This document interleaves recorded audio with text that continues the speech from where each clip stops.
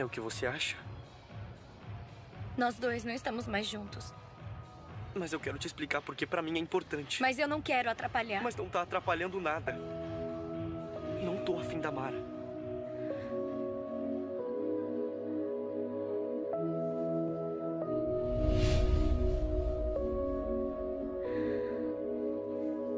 Mesmo assim, nós dois não podemos mais ficar juntos.